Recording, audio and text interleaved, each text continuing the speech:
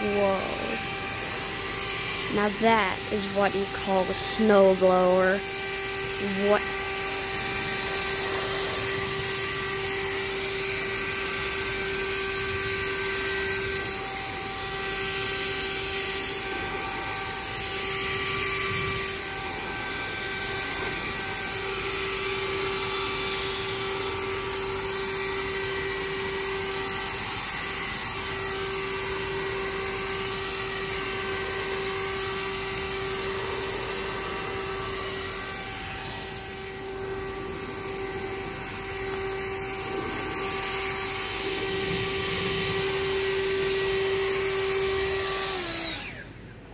The snow blew in my face.